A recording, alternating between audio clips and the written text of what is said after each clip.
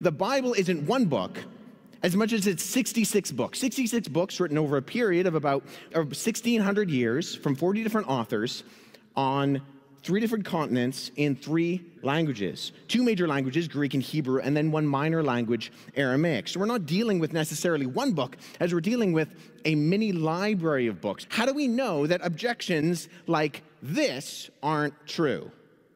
Really good point. It's and the translations apparently are so difficult to do. Yeah. Apparently, the tra- especially Old Testament, when they translated the Old Testament, they had to translate it. I mean, think of all the different languages it had to go through. It was Latin and Greek and German and English and all these different languages that are so different. Like, have you ever used the the translate button? Like, uh, I follow a lot of Russian fighters, Oh. and they, you know, and their uh, Instagram feed they write in Russian, and Right. I'm always like, oh, translate. It's a really cool feature. You could, but you can tell it's not exactly what they meant because it's all fucked up because their language is different. Right. Like the way they structure sentences is Yeah. different. So English doesn't just plug and play. Right.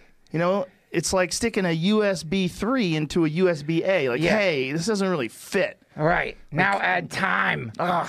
Add thousands of years and scrolls and, And like kings who wanted things changed. yeah, the King James version. What? Right. When you talk to people who hold these point of views, often what they communicate is something like this. They'll grant maybe that a person named Jesus actually existed and that he did have some sort of a message, that he spoke in Aramaic, which would be true. That is the language that Jesus spoke most of the time. And so if his immediate followers took what Jesus wrote and he wrote them down, they wrote it down in Greek. This is what we have, the original copies of the what we call the New Testament, the Gospels, those biographies of Jesus' life were written down in Greek. But here's where it goes wrong. They say, well, people, as time goes on, they're no longer speaking languages. They're not, no longer reading languages like Greek. They're reading languages like Latin. And so they take those Greek copies, they translate them into Latin, and they get rid of the Greek copies. They're old, dusty, nobody's using them anyway. And then more time goes on, and people aren't speaking Latin anymore. They're speaking languages like Old German. And so they take those Latin copies, they translate them into the German, they get rid of the Latin copy. And this goes on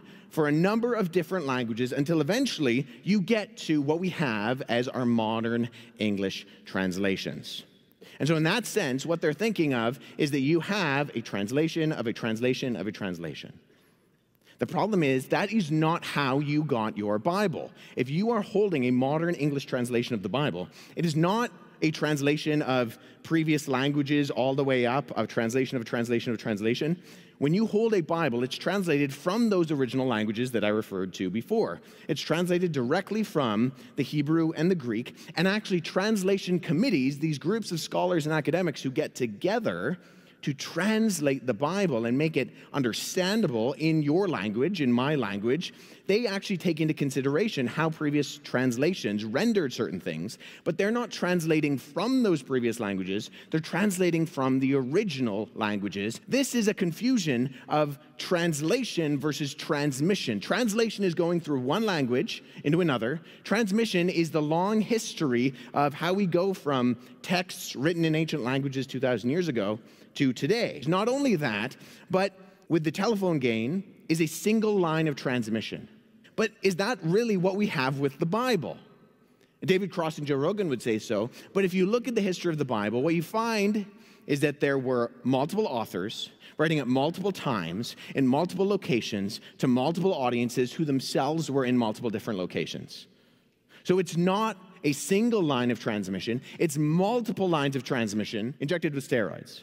Why? Because not only do you have the original authors writing at different times to different places, to different people in different locations, but then you have scribes who are likewise copying in different locations, writing to different audiences at different times who are themselves in different locations. And if we look at the history of this, between the first century when the New Testament was written and the fourth century, you have copies of both the Old and the New Testaments being copied and spread around all over the ancient world, so that by the time you get to the fourth century, you have hundreds, if not a few thousand, copies of what we would call the books of the Bible. They were independent at that time. They eventually got stuck into one volume, like we think of a Bible today. But copies of the Gospels, of the Acts, of the Psalms, of the prophets floating around the ancient world. So that within a few decades and centuries, you have copies up into Europe, into Asia, and into North Africa, which means that no one person or no one group could have controlled the text at any one point in time.